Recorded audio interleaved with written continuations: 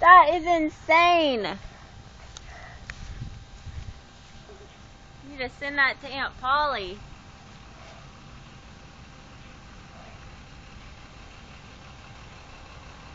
Oh my gosh. Whoa. t- touches the top of the tree. Little Jude the monkey. Okay, do it again.